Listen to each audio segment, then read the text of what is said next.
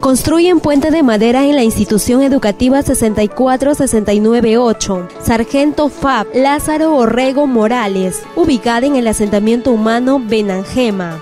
En la zona también señalizaron y arreglaron calles y pintaron la fachada de la referida escuela. La Subgerencia de Tránsito y Transporte de la comuna yarinense también limpiaron las áreas verdes, podaron los árboles, colocaron tacho de reciclaje y para la próxima semana está programada un curso de capacitación relacionado con la seguridad vial, anunció Braulio Vázquez Surca, titular del área. Hemos venido con todo el personal con nuestro material para darle la seguridad, hemos cambiado de puente, lo vamos a pintar, hemos pintado la fachada y hemos podado todo el contorno del colegio.